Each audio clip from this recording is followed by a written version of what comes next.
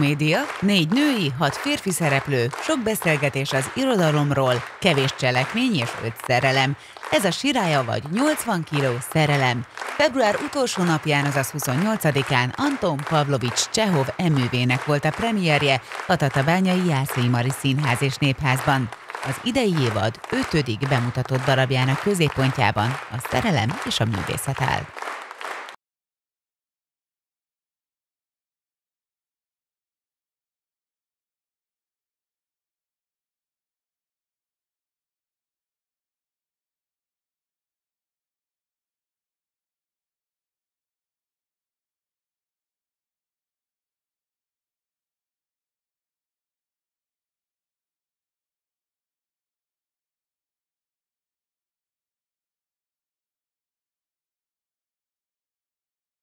Olvasópróbák január közepén kezdődtek, akkor a rendező így jellemezte a sirályt. Ez egy nagyon izgalmas szerelmi történet. A szerelemhez talán mindenkinek köze van, úgyhogy egy több szereplős szerelmi történetet fogunk látni, és az író, azaz Csehov szerint, szándéka szerint ez egy komédia, ennek fog, fogunk próbálni meg, megfelelni, most kezdődnek a próbák, úgyhogy egy szerelmi komédia dömping lesz majd. Tóth Ildikó Arkagyinát, a híres színésznőt játsza a darabban, aki a nyarakat testvérénél tölti vidéken. A színésznő minden korosztálynak ajánlja az előadást. Minden életkornak és generációnak, vagy benne az egyes karaktereknek olyan fordulópontjaihoz érnek az életüknek, ami, ami nagyon nagy problémát okoz nekik. Tehát van, vannak, akik az életük első nagy lendületén, hogy úgy mondjam, túl vannak, és onnan keresik tovább az utat, valakik pedig, a fiatalabbak pedig nem tudnak belekezdeni, vagy illetve nem találják meg azt az utat, amire ráléphetnének. A sirály egy több szálas szerelmi történet, amelyben nagy teret kap a tehetség témaköre is. A négy központi alak mind művész, egy-egy befutott és leendő író, illetve egy híres és egy kezdő színésznő életébe kapunk betekintést. Először is megismerjük a szárnyait bontogató írót, Trepijovot. Mitől olyan rossz kedvű az anyám? Az, az, az te anyád, az én. Az, hogy te hugod? Igen. Hát mi nem bír olyan rossz kedve? Az magunktól. Meg a féltékenységtől. Utálja az előadásokat, mert nem ő játszik benne, hanem Nina. Nem is ismer, de már is gyűlöli. De azt sem tudja elviselni, hiszen egy kicsi színpadon nem neki lesz sikere, meg Ninának. Lélektani eset az én anyám. Kétségtelenül tehetséges, okos, műve, sírni tud egy körülbelül. Ha beteg vagy, úgy ápol, mint egy angyal. Na de próbálj csak a füle hallatár azt mondani egy másik színészre, hogy jó. Hát dicsérni csak őt szabad, írni csak őről szabad, csak őt szabad bömbölve magasztalni a bámulatos játékáját. És mivel itt a faluban hiányzik neki ez a társulat, egyebet sem csinál, unatkozik és bennünket. És ráadásul zsugolik. Trepüljov megformálója Sruf Milán szerint karaktere legnagyobb hibája, hogy az édesanyja soha nem foglalkozott vele. Ez az anya hiány, ami ebben a, ebben a figurában nagyon-nagyon fontos. Hogy minden, minden cselekedete, ez, ez, ez a szeressenek, szeressenek, mert nem, mert nem, nem szeretett az anyám fiatal, amikor fiatal voltam, és most már 23 éves, és hogy, hogyha fiatal korban ugye az embert gyerekként nem kap elég szeretetet, akkor ott kapni fog egy Gellert az, az életében és a lelki világában. És ő nem is, nem is tud felnőni emiatt. 23 évesen mindig ennyire kapaszkodni az anyánkba, az azért az nem normális. Anyát. Szeret? Nem szeret. Szeret? Nem szeret. Szeret? Nem szeret. Szeret? Nem szeret. Szeret? Nem szeret. Szeret? Nem szeret. Szeret? Nem szeret. Szeret? Nem szeret. Szeret? Nem szeret. Szeret? Nem szeret. Szeret? Nem szeret. Szeret? Nem szeret. Szeret? Nem szeret. Na, látod? Nem szeret. Élni, szerelmesnek lenni, öltözködni, azt szeret. Trepüljov egyik darabját fogják előadni a Moszkva melletti kisfaluban. A főszerepben Nyinát láthatjuk, aki szintén egy művészi hajlamú fiatal, hiszen színésznő szeretne lenni. A színpadi előadásra készülve ekkor egy interaktív játékká válik a premier a Tatabányai Színházban. Akkor azt kell megismételni kétszer egymás után, jó hangosan, hogy űr, űr. Amikor azt mondjuk, szörnyű, akkor azt mondjuk, szörnyű, szörnyű. Jó, na, próbáljuk. A réten már nem ébredtek hangos kiáltással a dalban, és a hásfaberkekben nem zsong már a cserebogár.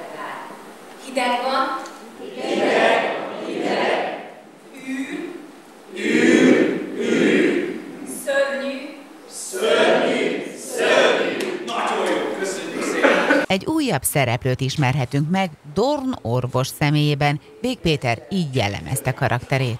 Egy biztos, mérhetetlen művelt, nagy valószínűséggel nagyon sokat olvas. Én, én azt mondanám, hogy egy szellemi kvalitás, egy sármos ember, ezt remélem sikerül megmutatni, és, és hát mind a mellett szerintem nagyon szimpatikus, alapvetően nagyon szimpatikus. Természetesen mi mindenkinek, mindannyiunknak vannak hibái, apró hibái, amit a Csehov nagyon szépen megmutat, és hogyha nekem, nekem is sikerül, akkor, akkor, akkor, akkor nyert, nyert ügyünk, nyert ügyem van.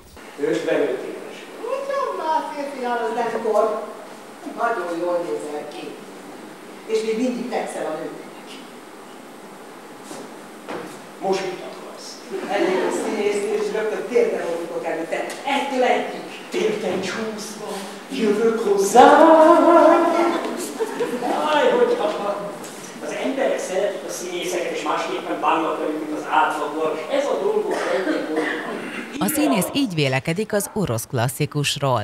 Összejönnek és együtt próbálják tulajdonképpen, együtt, együtt, együtt léteznek, együtt lélegeznek, és ebben a kis közegben tulajdonképpen három pár percen belül körvonalazódik a néző számára, vagy az olvasó számára, és ebben a néző számára, hogy, hogy ebben a kis csoportban milyen viszonyok, viszonyok, viszonylatok vannak az egyes emberek között. Tehát, hogy, hogy kiderül, hogy itt nagy szerelmek vannak, titkos, fölvállalt, félig fölvállalt, nem felvállalt kapcsolatok vannak, amit, amitől aztán tulajdonképpen elkezd előre gördülni a, a történet.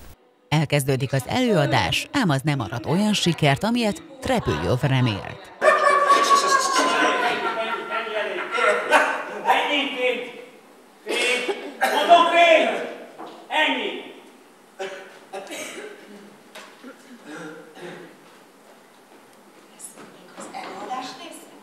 Mondom, vége az előadásnak! Nina a legnagyobb álma, hogy színésznő lehessen. Mikor megismerkedik Trigorinnal, azonnal beleszeret a befutott íróba. Engedje meg, hogy bemutassam Boris Alexejevics Trigorint. Követő voltak vagyok. Én műveit olvasom. Ne legyen zavarja. Híres ember, de a lelke még egyszerű. Látja, ő zavarba jött. Crespo Rodrigo szerint karaktere egy fő konfliktus forrás a darabban. Terpjov szerelme, Nina beleszeret Trigorinba. És hát ebből egy elég nagy tragédia következik ki az előadás végére.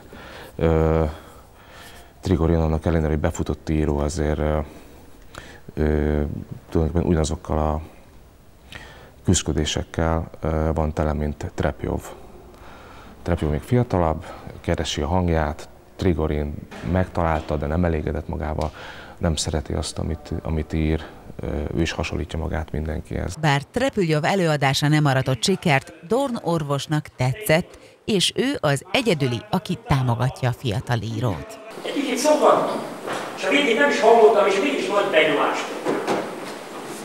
Maga nagyon tehetséges, nem szabad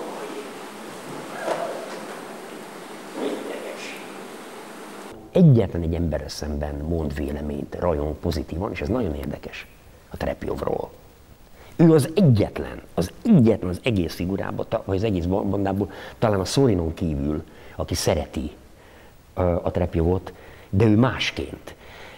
Nincs, köz, nincsen, nincs a, a Dorn és a Trepjev között nincs igazából semmiféle rokoni kapcsolat, és mégis ő az, a Dorn az egyetlen, aki azt mondja, hogy ide figyeljen. Maga egy hihetetlenül értékes valaki. És ezt ne engedje ki a kezéből. Ő az egyetlen. A darabban szinte az összes szereplő elégedetlen az életével, keresi önmagát, az életét. Az orvos karaktere az egyedüli, aki nem panaszkodik, bár ebben a jelenetben ő is kifejti elégedetlenségét. Én változatos nekem való, mégis vagyok elég. De ha megérezhettem volna azt, amit egy művész, talán nem tudtam volna mondani az olyan létről, ő sem elégedett az a saját életével, bár a következő pillanatban azt mondja, hogy én változatos életet éltem, nekem valót, meg is vagyok elégedve. A frászt egyáltalán nincs megelégedve. Tehát pontosan tudja, hogy van, mint mindannyiunknak, van az életében valami, amit, amit, ami, ami nem sikerült, amit, ami kicsúszott a kezéből, amitől, amitől nem kerek teljesen a dolog. És ettől zseniális a Csehov, hogy tulajdonképpen olyan, olyan, olyan, olyan, olyan dolgokról beszélnek a figurák, amik, amikkel kettő másodpercen belül itt mi rögtön tudunk azonosulni. A filozofálgatások mellett természetesen a humor is megtalálható a darabban. Belepusztulok a féltékenységbe. Jó, persze, tudom. Orvos vagy. Nőgyógyász. Nem kerülheted el a nőket, érted? Érted? Mi a helyzet? Irina Nikolajevna sír, Piotr Nikolajevics azt marohamot kapott. Na, hát akkor megyek és adok mind a kettőnek valériámat sem. Menj! Tessék!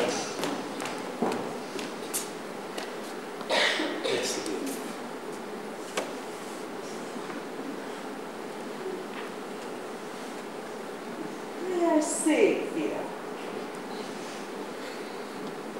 Na, add ide.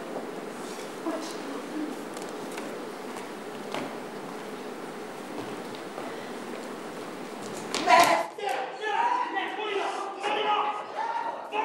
Trepüljov egy döglött sirályt hoz Nyinának, ezzel üzem be neki. Voltam olyan aljas, és megöltem ezt a sirát. Leteszem a lábaid elé. Mi van veled? Nem sokára ugyanígy végzek magammal is. Én nem ismerek rá. Hát én már régóta nem ismerek rád. Szabó Emília szerint bár valóban őt jellemzik sirályként, a szimbólum jelentése nem feltétlenül egyértelmű. Kit mondjuk a sebezhetősége miatt, kit a, a szabadságvágya miatt azonosíthatunk a sirályjal. Tehát én, én amikor azt mondom magamról, hogy sirály vagyok, ez olyan sok mindent tud jelenteni, olyan sok mindent, olyan nem is akarom, azt gondolom sok esetben eldönteni, hanem nagyon jó, ha mind a három mondjuk különbözőt jelent. De az tény, hogy neki beakadtott a fejében valami. És ami még nagyon fontos, hogy Trepjóval látjuk ugye ezt a lelőtt sirályt, és Nina és Trepjov között történik meg, hogy lelövés elhozza neki, de mégis Trigorinhoz köthető. Tehát mégis én Trigorintól leszek sirály. Mennyire irigyel magát, ha tudná. Magának millió közül egyetlen egynek sikeres életét, jelentős élet. Maga boldog. Én. Maga híd nélkül. Boldogságról valami érdekes, ragyogó életről beszél. De nekem ezek mind csak szavak. Szavak, szavak, szavak. Olyan, mint a lekvár. Kóstoltam, de nem ezt nem. A színésznő mindig is szeretett volna Csehov darabban játszani, így most külön öröm számára, hogy a sirályban szerepelhet. Nagyon-nagyon mélyen, pár mondatban, de nagyon tűpontosan tud fogalmazni.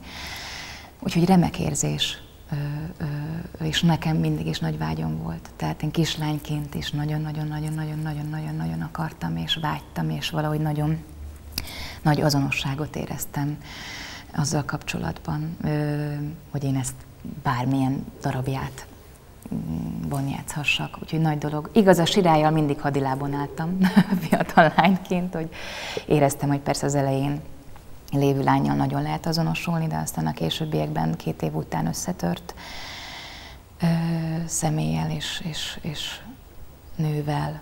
Ott még 18 évesen egyetem előtt, ugye, színvezeti egyetem előtt nem nagyon lehet, úgyhogy azt nem vittem azt a monológot, de például Ivanovból vittem a Szásának a monológiát, az, az közelebb állt.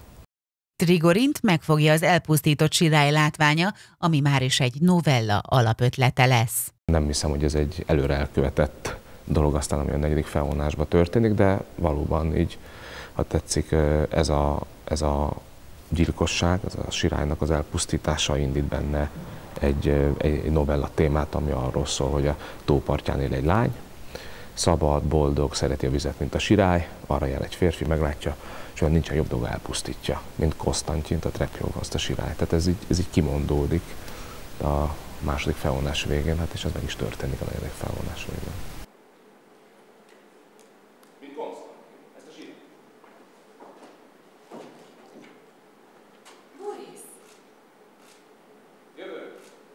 A sirály középpontjában a szerelem áll.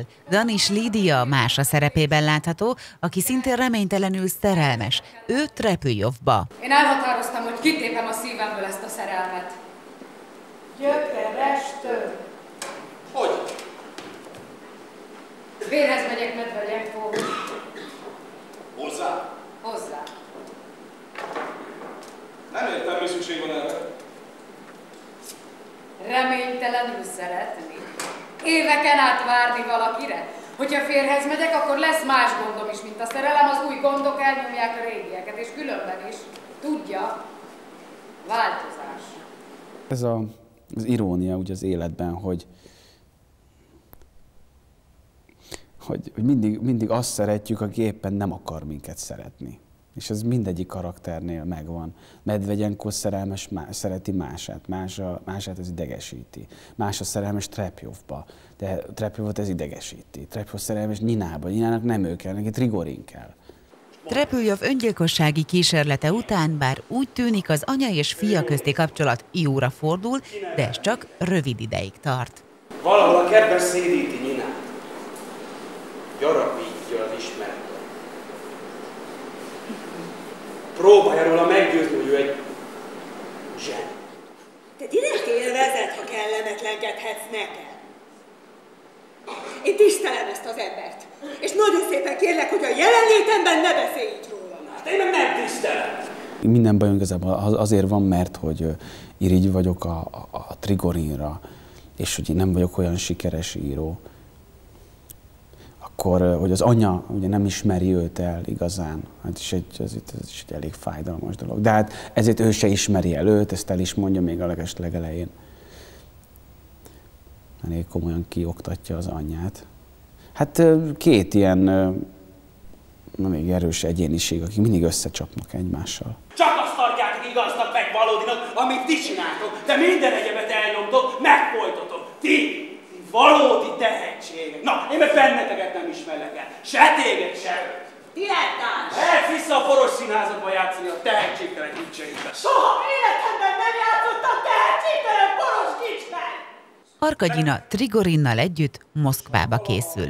Nina búcsú üzenete miatt az író szeretne tovább maradni vidéken, ám a híres színésznő egyáltalán nem örül ennek a fellángolásnak. És ha valaha elhagy neked az életem, csak gyere érte és vitt. Haladj még ott. Mondjuk még. Ide, ide. Én tudom, mit tart téged. Uralkodj magadon. Kicsit megerészegettél. Józanodj ki! Fiatal korában erre nem volt ideje, ő nem érzett még ilyen tiszta, erős szerelmet. És mégis még azon a jeleneten belül megfordítja ezt a dolgot Arkadina. Tehát van egy nagyon erős kötelék az Arkadina és a, a Trigorin között. Ez egy mm, elég jól összeszokott páros, erősítik egymást, van, van bizalom és van tolerancia a másik iránt, a másik művészete iránt. Mind a kettőknek talán a, a saját alkotásaik, a, a művészetük a, a fontosabb, és ebben sok minden belefér, belefér Nina is. Nekem nincs saját akaratom, sose volt. Gyenge vagyok, erőtlen és engedelmes. Mi tetszik ezen a nőknek? Hát fogj és vigyél, de aztán el ne engedj egyetlen lépésre sem. Az első felvonás azzal ér véget, hogy a pár elutazik, de Nina megbeszéli Trigorinnal, hogy Moszkvában újra találkoznak. Ahogy már megszokhatták a szünetben, most is érdeklődtünk a nézőktől, hogy mi a véleményük Csehov tóparton játszódó történetéről. Nagyon tetszik a darab. Én úgy érzem, hogy a színészek nagyon jól hozzák a, a karaktereket. Amellett tetszik, hogy bevonják a, a nézőket a darabba, és nem csak a színpadon, hanem a nézőtéren is folyik a darab, ez, ez nekem nagyon tetszik. Amellett nagyon büszkék vagyunk a tatabányai rendezőre, Rába Rolandra, Azt gondolom, hogy ha az ember egy Csehov darabra elmegy, akkor semmiképpen nem arra számít, hogy most aztán meg fog fájdulni a rekeszizma a sok kacagástól, hanem sokkal inkább azt a különleges atmoszférát, azt az egyedi hangulatot várja, amely csak Csehovra jellemző, és ezt úgy látom, hogy ez a rendezés is visszaadja. Ezzel együtt nem megy át üres filozofálgatásá a darab, és ami a színpadon történik, az megcsillantja Csehovnak azt a nagyon fanyar és nagyon intelligens humorát, ami szintén jellemzi őt, és ez oldja azt a nagyon komoly témasort, amivel foglalkozik az a mű, mert hogy foglalkozik boldogsággal, foglalkozik az emberi kapcsolatok kuszaságával és a művészettel is. Nem csak a nézők, de a színészek is kiemelték a tatabányai születésű rendezővel, Rába Rolanddal való közös munkát. A próba folyamat nagyon-nagyon jól telik, igazából annyi van, hogy, hogy mindenki próbálja keresni a, a maga, maga hangját, és, a, és ez nem könnyű, de van egy nagyon fölkészült és nagyon agilis, ambiciózus rendezőnk, aki nagyon erősen a kezében tartja a gyeplőt, és ez kifejezetten jót, jót tesz a dolognak. Nagyon-nagyon örülök, hogy a Rolanddal találkozhattam, és egyszerűen elképesztően energiával működik. Mindig azt gondolom, hogy egyszer majd egy széttépi egy, egy adott ponton próba közben a, az ingét, és ott lesz rajta egy ilyen Superman felirat. Tehát, hogy elképesztően um, odaadja magát, mint színész, mert ő elsősorban színész, és mint rendező is. A második felvonásban már két évvel később láthatjuk a szereplőket. Más a férjhez ment, Trepüljov sikeres író lett, a nyári estén szóba kerül Nina élete is. Azt mondják, nagyon nehéz élete volt, tényleg? Hosszú történet ez, doktor. Hát mondja röviden. Megszökött otthonra, aztán Trigorina ezt tudja. Született egy gyerek, de meghalt. Grigorin rámut és visszament az anyámhoz, ahogy ez várható is volt. Egyébként meg, amilyen jellentelen, Grigorin soha nem szakított az anyámmal, hanem két laki módon itt is volt, meg ott is. Ninának nem lett valami boldog élete. Mivel ismét nyár van így Arkadina és Trigorin is visszatér a vidéki tóparti házba, a szereplők nem változtak sokat, újra előjönnek a régi konfliktusok. Leküzdeném magammal ezt a szenvedélyt, és egész nap csak orgászni. 28! Tehát elkapni egy pontot, vagy egy kárháznak, az már pedig én hiszek Konstantin Gavrilovicsban. Nagyszabású képei vannak, plastikusan, színesen ír, belőle nem is érzéseket vált ki. Irina Nikolajevna, maga örül, hogy író lett a film? Képzelj, én nem olvastam tőle semmit. Nem jutok hozzá. Bék Péter és Ruf Milán szerint Csehov művével könnyű azonosulni, a cél, hogy az emberek ráismerjenek saját életükre. Fel tudjuk mutatni a Csehov eredeti szándékát az, ezeknek az embereknek az apró lelkérezdüléseit, a, a, a, az akarásukat, a kudarcukat, a, a, az, egy, az két ember egymásra találásának az örömét, a, a, a, az egy, a két ember egy, két embernek az egy elve, elvesz egymással szembeni konfliktusait, elvesztését, akkor az emberek ezekkel az apró pici helyzetekkel tökéletesen fognak tudni azonosulni. Remélem ráismernek majd, hogy ezekből, e, e, ezeken a figurákon keresztül arra, hogy hát igen, én is, ugye nekem is ilyen nyomorúságos életem van, és ezen is lehet nevetni. E, ennek ez a humora, hogy ezt ismeri majd fel a néző. Az is ez egy humor, hogy milyen az élet, hogy mindig azt szeretjük, és azért szenvedünk, aki, aki egyfolytában eltaszít minket, és mi mégis mindig azt akarjuk.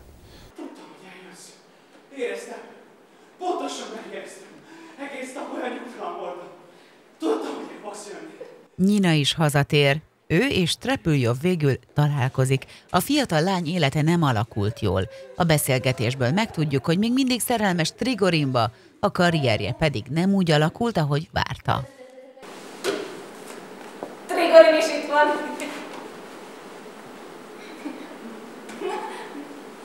Nina, igen. Persze. Hogy nem? Ő nem színházban. Kinevette az ábrányaimat, hogy lassanként elveszítettem az ütemet és az önbizalmat. Aztán megjöttek a szerelem gondjai, féltékenység, reszketés a gyerek életéért. Azt gondolom Rába Rolanddal, a rendező, a darab rendezőjével, arról beszélünk, hogy milyen érdekes, hogy a Trepio eleinte azt gondolja, hogy hozzájön a Nina hogy megbánta, és hogy elnézést kérjen, és stb. stb. És, és nem. Ő a Trigorinhoz jön, mert tudja, hogy ott van. És ez egy, ez egy őrületes dolog. Tehát saját magát is kineveti, hogy milyen elképesztően szereti ezt az embert, és hogy nem tud tőle szabadulni. Tud hordani a keresztedet és hit. Én hiszek. És már nem is fáj annyira. És hogyha a hivatásunkra gondolok, akkor én már nem is félek az élettől. Gina, te megtaláltad az utadat. tudod merre mész. De én csak kóvályok, és nem tudom, hogy kinek kell ez az egész. Én nem hiszek, és én nem tudom, hogy mi a hivatásom.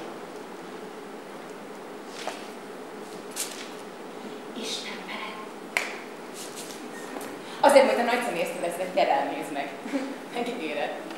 Trepüljov hiába reménykedett, hogy szerelme beteljesedik, a lány ismét elutasítja. Molekulákra hullik szét. A negyedik felvonásban azt lehet érezni rajta, hogy ő jól van, hogy minden, ami történt ez alatt a, az évek alatt, azért megerősödött már lelkileg is, és most éppen lehet jó van, és akkor egyszer csak megjelenik a, a volt szerelme.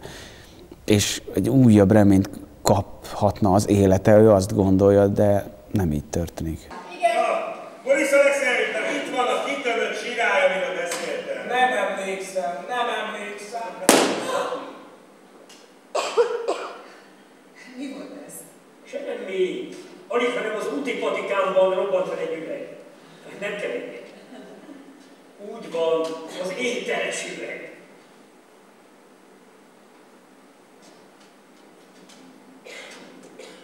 Vég Péter szerint karakterébe Csehov saját magát írta bele, ezzel pedig egy tanulságot ad a nézőknek.